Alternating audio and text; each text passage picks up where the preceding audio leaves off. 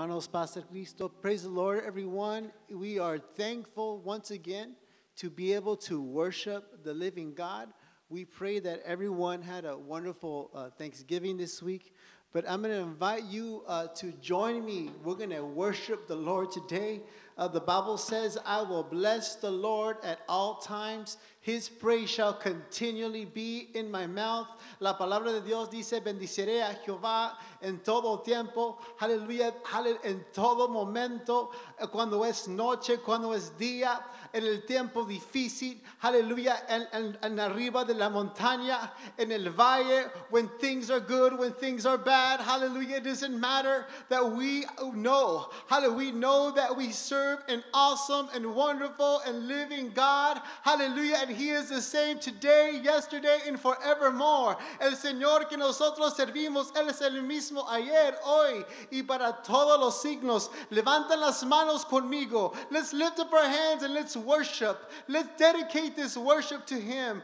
Aleluya, Cristo Jesús. Te adoramos, Señor, te exaltamos. Gracias, Señor, porque tú eres nuestra salvación. Tú eres nuestra vida. Tú eres, Señor, nuestra esperanza. Es por tu gracia y tu misericordia que tenemos, Señor, la salvación. Because of your grace, because of your mercy, because of your love, we have salvation and we have life eternal. Oh, aleluya. Y por eso, Señor, estamos agradecidos porque podemos levantar las manos en victoria. We can lift up our hands in victory and praise. Hallelujah, because we serve an awesome and wonderful God. Hallelujah. Let's worship Him this morning. He is more than worthy of all the praise that we can ever give.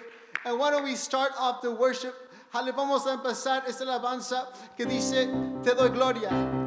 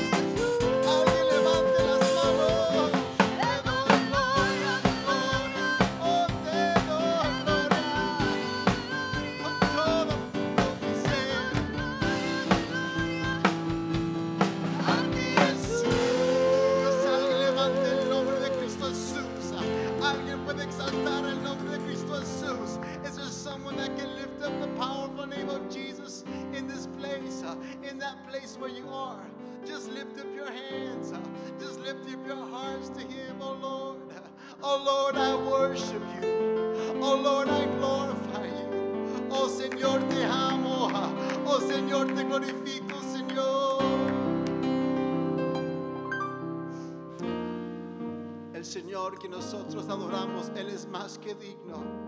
The Lord that we worship, He is more than all praise. He is more worthy than all worship. He is the King of glory. Y por eso hay una alabanza que dice, Él es digno.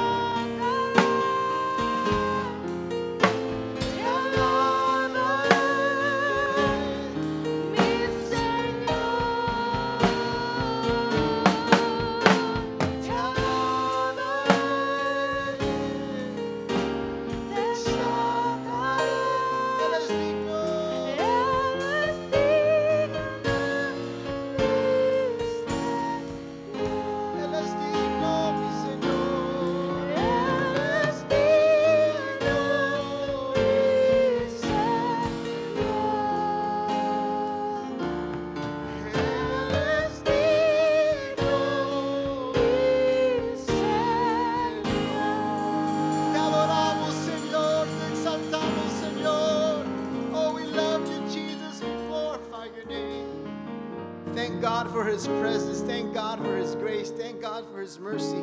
Hallelujah, hallelujah, hallelujah. Hallelujah. We are so grateful to be able to worship and magnify the living God. Today I have life. Today you have life. Today we are we we can never run out of reasons to thank God. Amen with us, we want to just uh, reach out in prayer for uh, Brother Stephen and his family. Uh, Brother Jeremiah is sick, so we're just going to lift him up in prayer. Lift them up in prayer where you are. In Jesus' name, they are fine. They're going to be okay. Um, but we are privileged to be able to present the senior pastor of our church, uh, Bishop Maffei, with us, who is going to be giving the Word of God in Spanish. Let's give God praise today. Amen. Hermano, paz de Cristo. Qué privilegio estar en la casa de Dios. Y qué privilegio, hermanos, de poder levantar las manos y decirle, Señor, Yes. gracias. Gracias, gracias, gracias, porque eres bueno para siempre, es tu misericordia. Bueno, pueden sentarse los que están aquí. Ah, este es un día muy hermoso. Una de las cosas que tenemos en esta iglesia es que somos una hermosa y grande familia. nos necesitamos los unos a los otros y los unos a los otros nos damos ánimo. Nos damos ánimo, damos palabras de aliento, de seguir adelante. Y esto es importante para nosotros porque, porque de vez en cuando necesitamos, ¿verdad? Que nos ayuden, que nos den un pujoncito, ¿verdad? Porque, hermanos, tenemos que llegar a la gloria, amén. Tenemos que llegar a la gloria, tenemos que llegar a la vida eterna. E- e- Es, esa es nuestra meta principal. Esa es nuestra meta principal, de llegar a la gloria. Y sabemos que está difícil. Ahorita ah, todo está en contra nuestra, ¿verdad? Pero Dios está moviendo, Dios está moviendo de una manera especial. Y hermanos, ya la Suprema Corte de Justicia ya dio la orden en contra del gobernador de, New York, porque él quería limitar ¿verdad? los servicios, los cultos, las iglesias. Y la Suprema Corte de Justicia dijo, le, di- le dijo al gobernador, estás mal. Y creo que lo, lo mismo va a pasar en este estado de California porque ya, eh, ya dio la voz la Suprema Corte de Justicia. Voy a dejarles, hermano, voy a dejarles un, un pensamiento eh, que he titulado Sed agradecidos. Y dice en primera Tesalonicenses 5:18, da gracias a Dios en todo porque esto es la voluntad de Dios para con vosotros en Cristo Jesús. En esta mañana oímos hermosos ah, consejos ah, por el hermano Brian, hermano Brian, hermano Caleb, hermano Brian Félix, hermano Caleb Afei. Eh, eh, trajeron unos hermosos mensajes, ¿verdad? Y el hermano Brian hablaba del- de, la gracia, la gracia. La gracia, hermanos, es, es, es, es ah, un don o un regalo para nosotros inmerecido. Eso es la gracia. Pero esta mañana vamos a darle gracias a Dios por sus bendiciones. Vamos a hablar un poco acerca del trasfondo, hermanos, de por qué se celebra el Thanksgiving, por qué se celebra el Día de Acción de Gracias. Y una de las cosas que miramos es que eh, el, el grupo que vinieron de, de Inglaterra, hermanos, ellos venían huyendo porque no tenían la libertad religiosa. Y el, el barco, hermanos, eh, no era un barco muy grande, era un barco del, de- del espacio, ¿verdad? De lo que mide un autobús. Eran como 100 personas. Entonces llegaron, hermanos, a, a la ciudad de Plymouth, de Massachusetts, ¿verdad? Y en el primer invierno, ellos llegaron aquí en el año 1620, en el primer invierno fue de grandes penurias, sufrieron mucho por el frío, hermanos, y por que no había que comer, se murieron de hambre, más de la mitad se murió de hambre. Pero de los que sobrevivieron, continuaron luchando y en la, primera, en la, en la primavera sembraron su primera cosecha de maíz. Y había un indio que se llamaba Squanto. Este indio, guerrero, se hizo amigo de ellos y les enseñó a los colonizadores cómo sembrar y cultivar el maíz. Y los ayudó a establecer buenas relaciones con las tribus indias vecinas.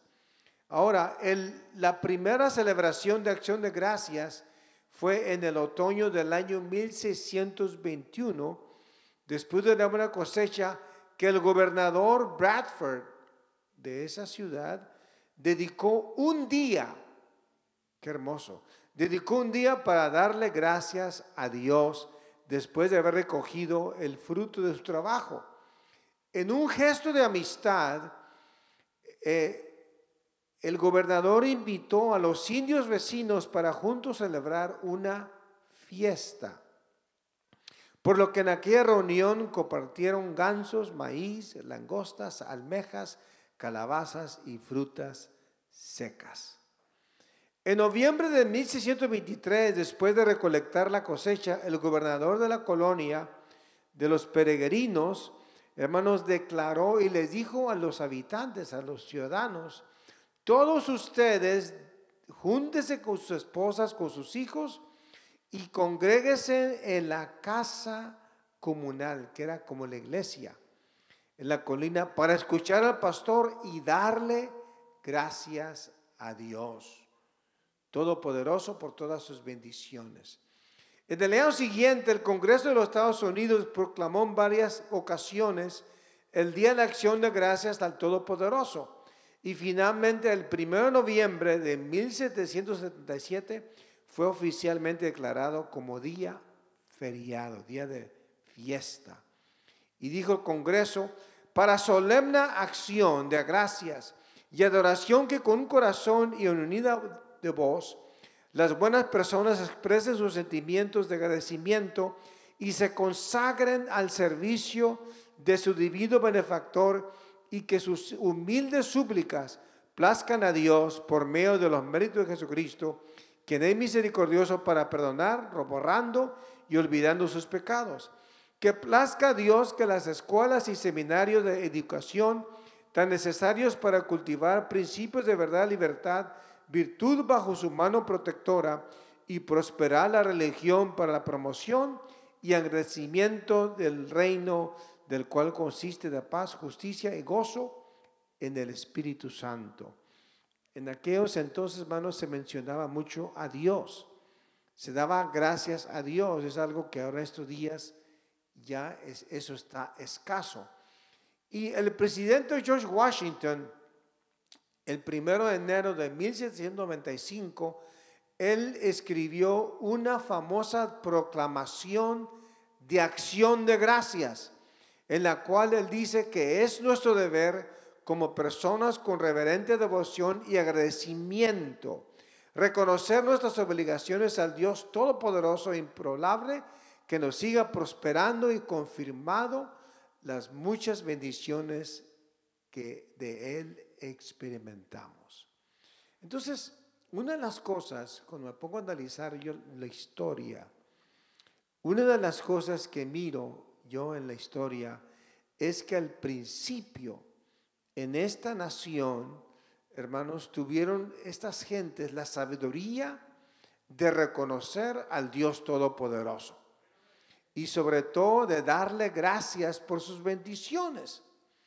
Y pensando en la gratitud que debe de haber en nosotros, el apóstol Pablo nos aconseja que demos gracias a Dios en todo y por todo. Aún en las dificultades, aún en las pruebas, aún en las luchas, aún en medio de la enfermedad, aún en medio de la escasez, debemos de levantar las manos y decirle, Señor, gracias, gracias por todo esto. Entonces Pablo dice, le dice a la iglesia de Tesalónica, dad gracias a Dios en todo. ¿Qué incluye en todo? Todo. Las buenas, las malas, la salud, la enfermedad, todo.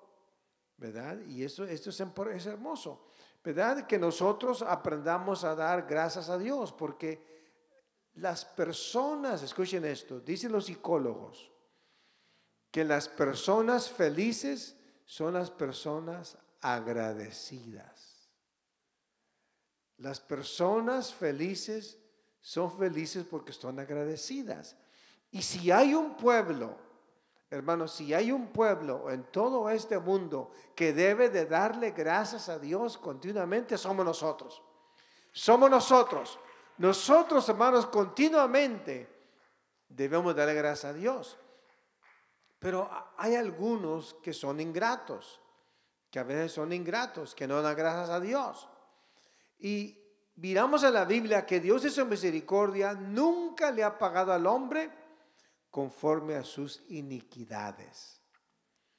En Mateo 5:45 dice, Dios hace salir su sol sobre malos y buenos y hace llover sobre justos e injustos. ¿Qué pasaría si Dios dijera, bueno, pues estos se están portando mal y no, no va a haber sol para ellos. O si dijera Dios, bueno, estos, estos se han portado mal y no voy a hacer que les caga lluvia a ellos. Pero no, Dios es, hermano, Dios es bueno para siempre su misericordia. Dios es infinito en su misericordia. Al Señor sea la honra y la gloria. En Salmo 103, 8 y 10 dice, misericordioso y clemente es Jehová, lento para la ira y grande en misericordia. No ha hecho con nosotros conforme a nuestros pecados. El Salmo 68, 19 dice, bendito el Señor, cada día nos colma de beneficios el Dios de nuestra salvación. Salmo 34, 8 dice, gustad, ved que es bueno Jehová, dichoso al hombre que confía en él. Esos somos nosotros. Somos dichosos porque hemos confiado en él. Ahora, la gratitud es un pecado muy común. ¿Verdad? Miramos a la historia, ¿verdad? De cuando Jesucristo se acerca, de, está cerca, ¿verdad? Le sale al encuentro diez leprosos. Y Jesús los sana a todos. ¿Verdad? Le dice, vayan con el sacerdote, muéstrense, ¿verdad? Y serán sanos. Y los diez fueron sanos. Pero de los diez únicamente uno regresó para darle gracias al Señor Jesucristo. Nomás uno. Y el Señor Jesucristo dice, ¿qué pasó con los nueve? Que no sanea a los nueve. Únicamente este samaritano es agradecido. Y el samaritano llegó, se echó a los pies de Jesucristo y empezó a alabarle, gracias, gracias, gracias, gracias. ¿Verdad? Y que ahora la, la, pregunta que debe, que, debe, que debe haber nosotros, ¿qué tanto agradecimiento hay hacia Dios en nuestros corazones? En este día. El Señor nos pregunta en esta tarde, ¿en dónde están los agradecidos? Bueno, pues la iglesia de Sion, ahí estamos los agradecidos. Amén, hermanos. Amén. Eh, hermanos, absolutamente todo se lo damos a Dios. Absolutamente todo. Yo doy gracias a Dios que nací en un hogar cristiano. Y en ese hogar, hermanos, nunca miré a mi padre llegar borracho. Nunca miré a mi padre levantarle la mano a mi madre. Uh, alaba a Dios porque mi padre fue un hombre con temor de Dios. Un hombre, hermanos, ¿verdad? De que era íntegro, íntegro. Un hombre, ¿verdad? Que le sirvió a Dios y por eso yo le doy gracias a Dios en este día y todos los días. Amén. Entonces, ¿por qué hay que darle gracias a Dios por nuestra vida?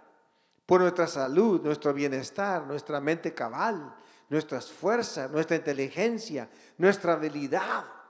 Todo lo que tenemos Dios nos ha dado. ¿Qué podríamos decir de nuestra familia, de nuestro cónyuge? Yo alabo a Dios por mi esposa.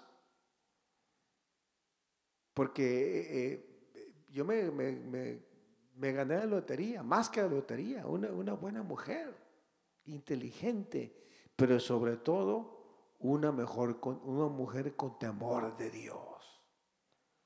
Una mujer fiel. Y no se diga, ¿verdad?, de todo lo demás. ¿verdad? Muy buena cocinera, etcétera, etcétera, ¿verdad? Y que de mis hijos, cada uno de ellos, ¿verdad? Le sirven a Dios, con temor de Dios. Ahora mis nietos, le sirven a Dios, hermanos, al Señor sea la honra y la gloria.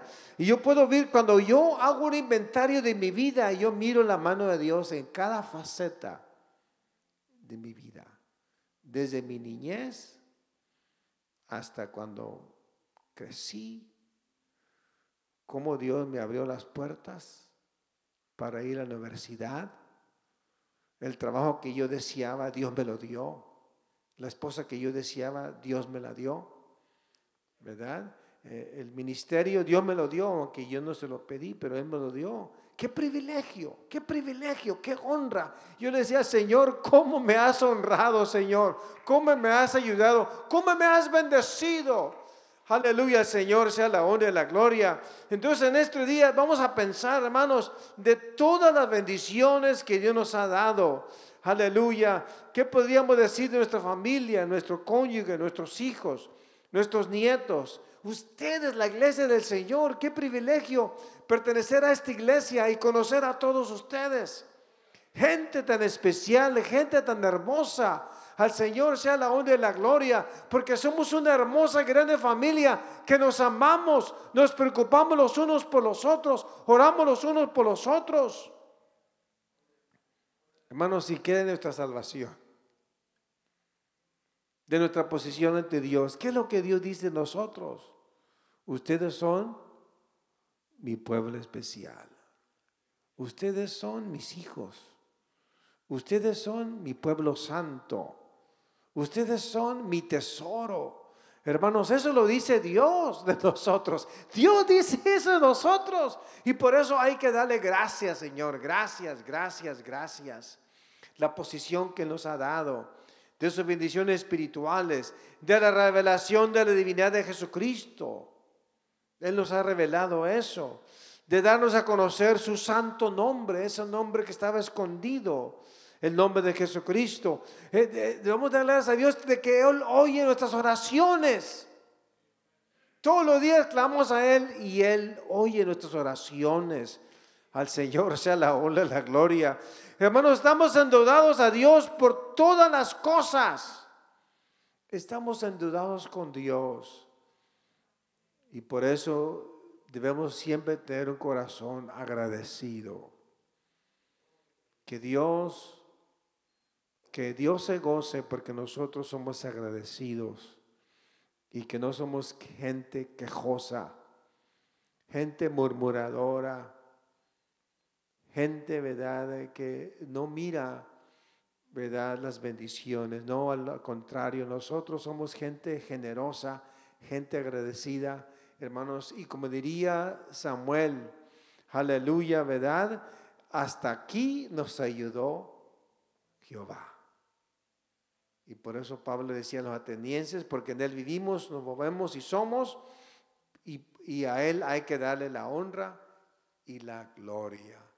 Hermanos, les invito a que hagamos una oración. Señor Padre Celestial, en esta mañana, Señor, estamos sumamente agradecidos contigo. Señor Padre Santo, no tenemos que darte, Señor, porque tú eres dueño de todas las cosas, tú eres dueño del oro, de la plata, de todo el universo. Todo es tuyo, Señor. Y, pero lo único que sí te podemos dar es una acción de gracias. Lo que sí podemos hacer, Señor, podemos, aleluya, levantar nuestras manos y decirte que tanto te amamos, que tanto te queremos, porque has sido bueno con nosotros. En esta mañana te decimos, Señor Jesucristo, gracias, gracias, muchas gracias, Señor, en el nombre del Señor Jesucristo. Enseguida, hermano el mensaje en inglés.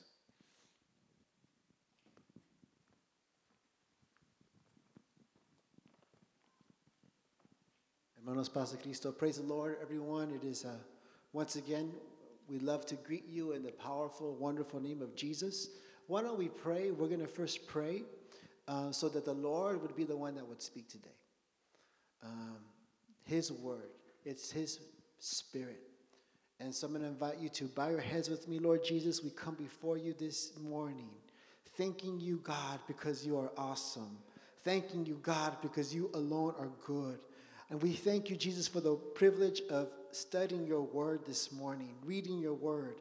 We pray that our hearts would be open to it and that your spirit would make a transformation in the hearer.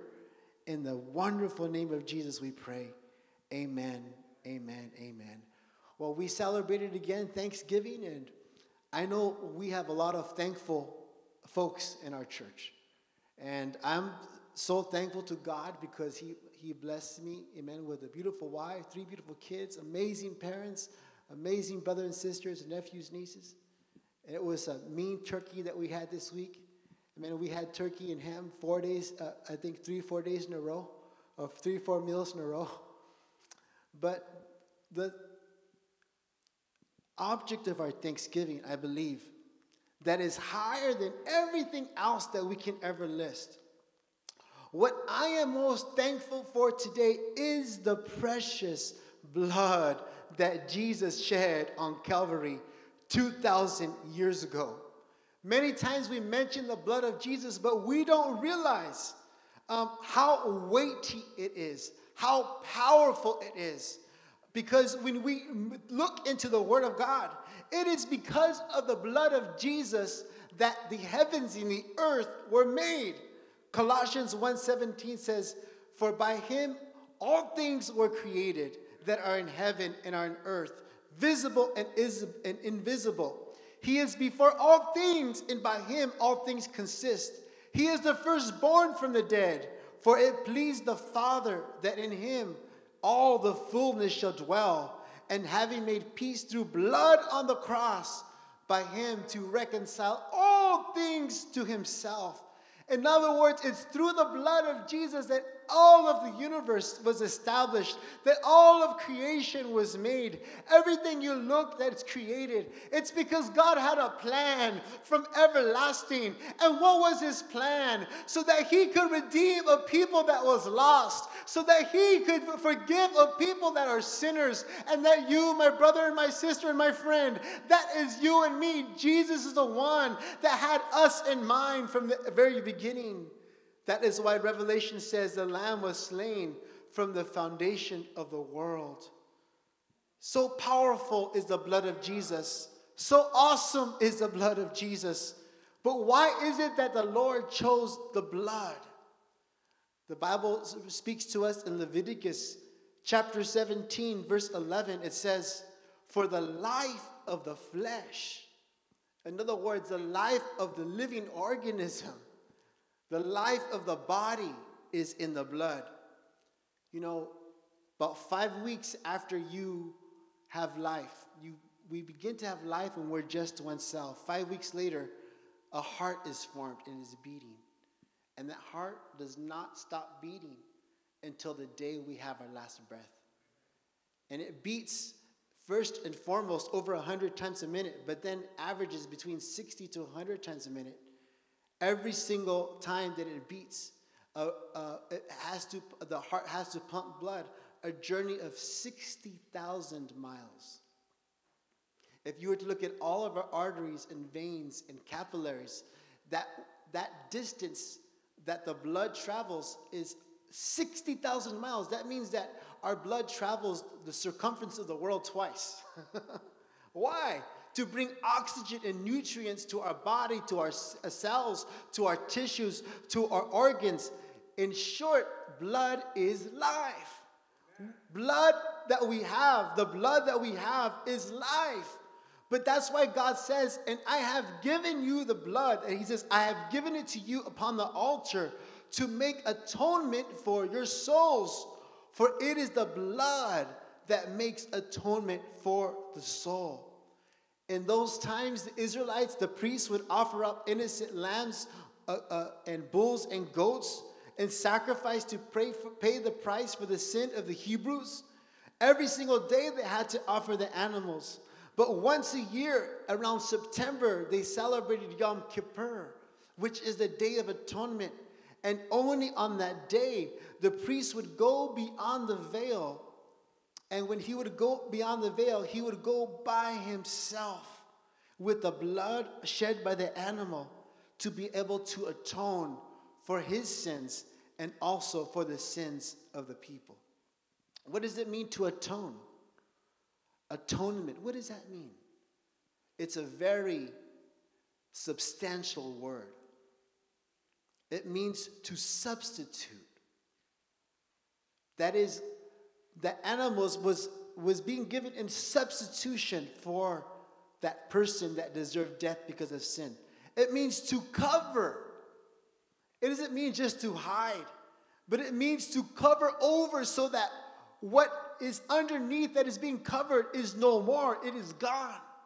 It means to forgive. To forgive means that all that has been done wrong is not just is not just a, a, a, a, set aside, but it is forgotten. It means to make amends.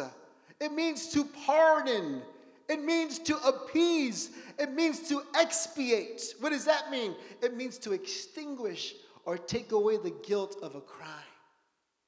It means to reconcile. What does it mean to reconcile? That means that a relationship that has been broken and bruised and shattered is once again made new and it's made whole. And that is what happens to us before the Lord. It means to ransom.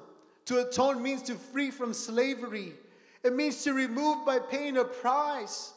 It describes a covering over in short, what does atonement means? It means that a price is paid and blood is shed because life must be given for life.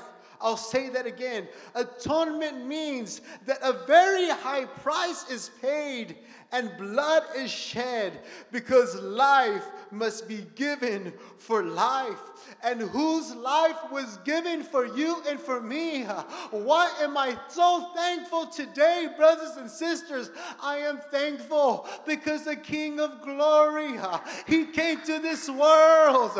He took up humanity and he shed his blood for me to atone for me, to substitute himself for me, to cover my wrongs, to forgive my faults, to make amends, to pardon me, to expiate and to extinguish all of my crimes, to reconcile my life back to him, to free me from a life of slavery and sin, to remove all things and all things that would that would uh, take me down a path of death. Oh, hallelujah, brothers and sisters. This world is going down a path of utility and of death, but Jesus came to say, I am the way and the truth and the life. I am the only way to heaven. I am the only way to forgiveness. And he speaks to us this day. Hebrews says, He has manifested, He has been manifested to take away sin by sacrifice of Himself. And so, unlike the high priest, Jesus went by himself to offer himself for us. And like the high priest, the high priest had clothing that looked like the clothing of a king. It was full of stones, right? He had this breastplate uh, full of the 12 stones, and he had the uh, over his shoulders, he had more uh, almost like stones of jewelry that, rep- that each part of his gown was a gown of splendor because he was before God. But on the day of atonement, the Bible says that he would exchange those clothes for the clothes of linen and trousers of linen. That means he exchanged the clothes of glory for the clothes of that of a servant or a slave. And he would humble himself and he would go and shed the blood of the bulls. The Bible says that when Jesus on that night of the, of the Last Supper that he took off his outer garment and he wrapped as he washed and cleansed his disciples' feet, the sinners, and even the ones that would leave him, and even the ones that would deny him, and even the ones that would betray him. And the book of Philippians says that even though he was God in very nature, he did not consider being God something to hold on to, but he made himself nothing, coming in the form of a servant of a human being. And he was obedient to death and even death on a cross. I don't know about you today, but I am thankful for the blood of Jesus. I am thankful for the blood of Jesus. I am thankful for the blood of Jesus that covers and washes and cleanses. The blood of Jesus is that blood Peter says, that is from the precious blood of the Lamb. The blood of Jesus, Paul writes to the Ephesians, is that that brings the forgiveness of sins. The blood of Jesus is that blood that Paul writes to Romans, much more than being now justified by his blood, we shall be saved from wrath. The blood of Jesus is what he writes to Colossians, and having made peace through the blood, reconciliation to the blood. John writes, and the blood of Jesus Christ, his son, cleanses us from all sins. Jesus Christ, that loved us, washed us from our sins in his own blood. Hebrews, hallelujah. Writes, having therefore, brethren, boldness into the holy place through the blood of Jesus. Hallelujah. Revelation says, and they overcame him that is Satan by the blood of the Lamb and by the word of their testimony, and they loved not their lives unto death. And Revelation 7 14, 15 says, and having washed their bloods, they made themselves white in the blood of the Lamb. Therefore, they are before the throne of God and serve him day and night in his temple. And he that sitteth on the throne shall dwell among them. And then it says that he's going to reach over and he shall wipe away every tear from their eye. You see, through the blood of Jesus, we have salvation, we have peace, we have redemption, we have forgiveness, we have reconciliation, we are washed, we are sanctified, we have access to God's presence, and we, in the blood of Jesus, we have victory, church. We have victory over everything that we may face in this world. Can someone lift up your hands with me and praise the living God? Let us thank the Lord for the blood of Jesus, the blood of Jesus.